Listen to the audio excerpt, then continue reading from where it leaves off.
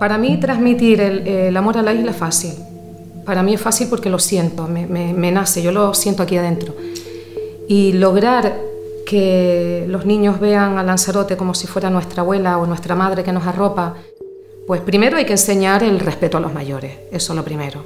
El alumno no, puede amar la tierra ni verla como una señora mayor si yo no le enseño primero que a los mayores hay que respetarlos, hay que quererlos y hay que amarlos. Si a Lanzarote se le ha dado esa denominación de reserva de la biosfera, lo que tenemos que nosotros conseguir es que eso permanezca y que, que se mantenga de cara al futuro, porque es muy frágil y es fácilmente rompible.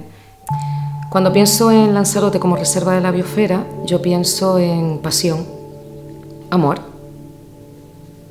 Sencillamente amor. Lo que tienes que conseguir es que tu paso por esta isla sea las huellas que dejas cuando caminas.